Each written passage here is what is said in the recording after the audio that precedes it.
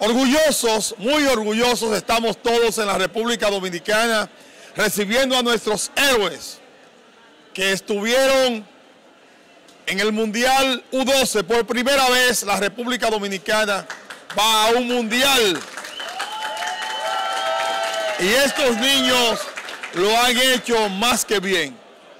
Obtienen un cuarto lugar en el mundo, ganándole a los mejores del mundo.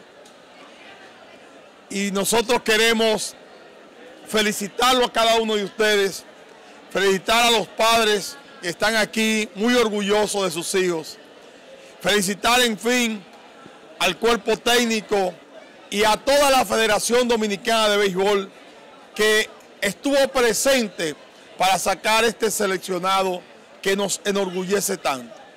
Agradecer, agradecer además de a los padres, agradecer a Eloy Jiménez, quien nos apoyó grandemente, a, a Maurinina, a IPL, a todos los entrenadores del béisbol del país. Agradecer, como no, al ministro de Deporte, Francisco Camacho, que nos proporcionó los tickets aéreos para ir hasta China, Taipei. Gracias de todo corazón, pero sobre todo agradecerle al Dios Todopoderoso que nos ha permitido vivir, nacer y crecer en la patria de Duarte. ¡Que viva la República Dominicana!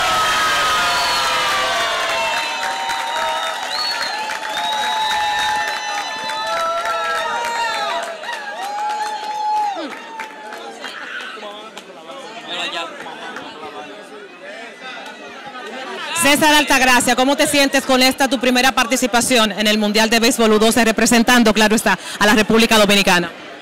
Bueno, primeramente le quiero dar gracias a Dios, me siento muy orgulloso de participar en este Mundial por primera vez, ya que Dios me dio la oportunidad y también el grupo técnico de la federación me dio la oportunidad de participar una vez más en su torneo. Le doy gracias a cada uno de sus entrenadores, al igual que mi padre, mi madre, que siempre me estuvieron apoyando, al igual que los entrenadores siempre me dijeron que subo la cabeza en alto y que con gracias, con mucho orgullo y gracias a Dios pudimos por lo menos coger el cuarto lugar y para el otro año lo hacemos con Dios mediante. Altagracia, el capitán Lanzallamas, como se te apodó acá en la República Dominicana, eres el único jugador que él fue al premundial U12 en México en el 2021 y obtuvo esa medalla de oro y el boleto para que el país en el día de hoy pudiera celebrar esa primera participación en el Mundial U12. ¿Cómo te hace sentir ser el primero de tus compañeros que puede venir tanto al premundial como al Mundial U12? Pues yo me siento muy orgulloso porque no todo el mundo tiene esa misma oportunidad. Ganar oro y luego traer por lo menos un trofeo aquí al país que es por primera vez que se trae un trofeo aquí en esa categoría y le doy gracias a Dios y que me siga bendiciendo y cuento con el apoyo de cada uno de ustedes siempre. Te, apodaron el Shohei Otani, tú llegaste con la mejor efectividad, estafando bases, te robaste 10 y conectaste todos los palos habidos y por haber. ¿Cómo te sientes con estos tres trofeos que traes a la casa? Bueno, me siento muy orgulloso, nunca me esperaba, solamente me esperaba uno de piche. Y cuando mencionaste mi nombre tres veces yo hasta me sorprendí, pero traímos tres, gracias a Dios. Gracias César, felicidades. Gracias. ¿Cómo te hace sentir representar a la República Dominicana en este Mundial U12? Bueno, primeramente hay que dar las gracias a Dios, me siento muy bien, me siento muy bien representar a la República Dominicana y a, todo, y a toda mi familia.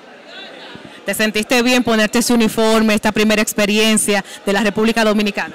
Claro, me siento muy bien. Jesús Martínez, ¿cómo te sientes en esa tu primera experiencia representando a la República Dominicana en un Mundial U12? Muy bien, le doy las gracias a Dios por todo.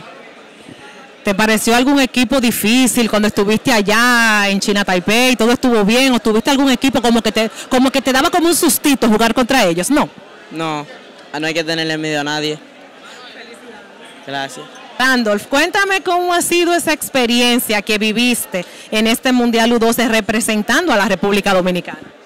Nada, me siento orgulloso por representar mi país, gracias a Dios ya estamos aquí, que no cogí, no cogimos mucho trote y gracias a Dios estamos, quedamos en un lugar que se puede... En cuarto lugar. En cuarto lugar. Precisamente ese partido ante China Taipei, donde estábamos disputando esa medalla de bronce, ¿qué sintieron ustedes cuando supieron que estaban en su primera participación y estaban representando al país e iban por el bronce? Nada, orgulloso, orgulloso, pero es un equipo que es bueno, es bueno igual que nosotros. Tranquilito. Miguel Collado, cuéntanos cómo fue tu experiencia en este Mundial U12 representando a la República Dominicana. Bien, gracias a Dios. Que, que yo seguía para adelante con Dios, que cada vez que me lesionaba yo le decía a Samuel que yo podía y, se, y seguía. Que gracias a Dios yo no me pude lesionar como los otros se lesionan y así, y así yo seguía para adelante. ¿Hubo algún equipo en particular que tú te sintieras incómodo, que tú pensaras que podía ser un poquito superior a ustedes, pero después cuando estaban en el terreno de juego dijeron, no, somos iguales todos? Somos iguales todos, como me dijo mi papá. Mi papá me dijo que, que somos seres humanos todos y yo, y yo tengo que seguir para adelante para, para conseguir un sueño. Felicitaciones por ese cuarto lugar que les regalaron a la República Dominicana en esta su primera participación en un Mundial U12. Gracias. Joshua Cano Smith, cuéntanos cómo fue tu experiencia en este Mundial U12 con la República Dominicana. Bueno, mi experiencia, gracias a Dios, fue muy buena. Buen compañerismo, eh, dando lo mejor de nosotros y haciendo lo que se podía. ¿Qué hablas precisamente del compañerismo? ¿Cómo fue la unión de ustedes después de salir acá? Todo lo que atravesaron, esa distancia tan larga que recorrieron para llegar. ¿Cómo fue el compañerismo de ustedes, tanto allá en, en el hotel donde convivieron y también en el, en el terreno de juego? Bueno, el compañerismo, el compañerismo siempre estuvo ahí, gracias a Dios todos nos llevamos bien. Eh, al llevarnos bien todito hicimos un buen trabajo, dimos lo mejor de nosotros y pudimos llegar a la ronda fuerte gracias al compañerismo y gracias a Dios todo está bien por eso, por ese lado. Una pregunta aquí entre tú y yo, Cano. ¿Hubo algún equipo que tú como que dijeras, ay, le tengo un poquito de miedo, pero cuando lo vieron en el terreno dijeron, no, ellos no pueden con nosotros? Bueno, un equipo fuerte a lo que nos, enfrentamos fue a Taipei. Pero nada que va, dimos lo, dejo- lo mejor de nosotros y tratamos de ganarle, pero al final no se dio. Pero en su momento nos va a tocar y felicitaciones por esa excelente participación que tuvieron. Es la primera vez que la República Dominicana va a un mundial en esa categoría y ustedes dignamente nos traen un cuarto lugar. Felicidades. Gracias, gracias. Loren, cuéntanos cómo fue la experiencia que viviste siendo parte del equipo dominicano en ese Mundial U12. Bueno, yo le primeramente doy las gracias a Dios por todo. Segundo, a mi padre y a Dios. Bueno, fue una experiencia maravillosa, una experiencia inolvidable. Muy buena con todos mis compañeros, compañerismo. Nada, vamos para adelante y a meter mano. ¿Qué te- ¿Hubo algún momento dentro de la competencia o alguna jugada con un equipo determinado, determinado dentro de, de este Mundial U12 que te marcara, que tú te la llevas para siempre? ¿Algún momento el que, tú, el que, más, el que más te vas a llevar contigo? Bueno, primeramente yo fue una jugada que hicimos en el outfield entre Marlon y yo. Marlon fue a buscar la bola y no pudo cogerla. Yo cogí la bola y tiré para, hacer- para home play. Es un play allá mismo lo que hace. Felicitaciones y de verdad gracias por representar a la República Dominicana. De nada, gracias a Dios. Gracias por todo. Gerson Guzmán, ¿cómo te sientes luego de ser parte del equipo dominicano en ese Mundial U12?